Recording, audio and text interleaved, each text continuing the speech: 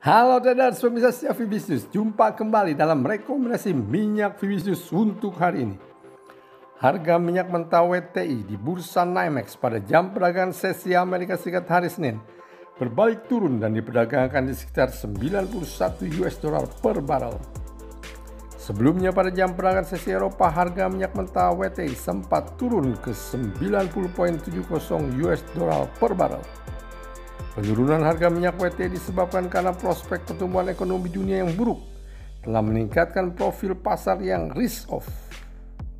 Harga minyak mentah terkoreksi karena naiknya sentimen keengganan terhadap risiko di pasar setelah keluarnya data ekonomi PMI jasa Caixin pada minggu lalu yang memberikan signal akan penurunan permintaan untuk minyak mentah.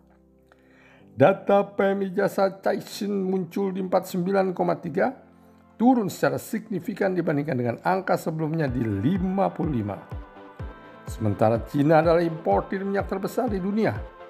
Karenanya penurunan permintaan yang serius dari Cina akan berdampak signifikan terhadap harga minyak mentah WTI. Menguatnya angka non-farm Amerika Serikat juga membebani harga minyak mentah. Data pasar, data pasar tenaga kerja Amerika Serikat yang bagus telah mendorong kemungkinan kenaikan tingkat suku bunga yang lebih besar yang dilakukan oleh The Fed. Support terdekat menunggu di 90.69 US dollar yang apabila berhasil dilewati akan lanjut ke 89.91 US dollar dan kemudian 88.96 US dollar. Resisten yang terdekat menunggu di 92.25 US dollar yang apabila berhasil dilewati akan lanjut ke 93.03 US dollar dan kemudian 94.98 US dollar. Demikian rekomendasi minyak untuk hari ini.